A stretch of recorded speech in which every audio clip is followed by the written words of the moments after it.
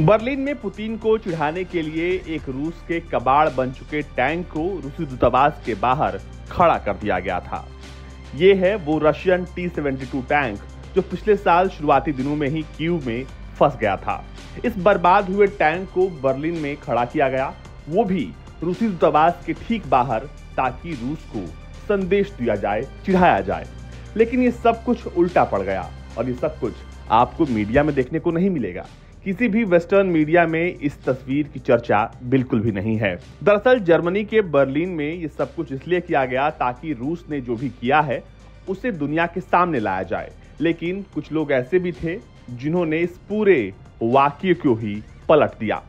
दरअसल T seventy to को यहाँ पर रखने का उद्देश्य था रूस को चुढ़ाना, लेकिन यहाँ पर कुछ लोग ऐसे भी हैं जिन्होंने ये सब कुछ बदल दिया। लोगों की हुजूम वहाँ इकट्ठा हुई और लोगों ने इस टी सेवेंटी टू टैंक्स पर फूल चढ़ाने शुरू कर दिए। फूल इतने चढ़े कि पूरे टैंक को ही फूलों से भर दिया और कहा कि ये हम उन रूसी सैनिकों की याद में कर रहे हैं जिन्होंने अपनी जान गंवाई है।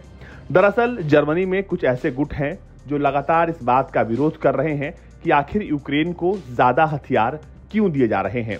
उनका मानना है कि यूक्रेन को हथियार देने के बजाय बातचीत हो ताकि शांति से मसले का हल निकले। लेकिन वेस्टर्न कंट्रीज़ लगातार यूक्रेन को हथियार देकर उसे और ज़्यादा युद्ध में ढकेल रही हैं। ये तस्वीर थोड़ी देर के लिए रूस को ज़रूर बुरी लगी थी, लेकिन जैसे ही लोगों का हुजूम वहाँ पहुँचता है, उन्होंने पूरी तस्वीर बदल दी।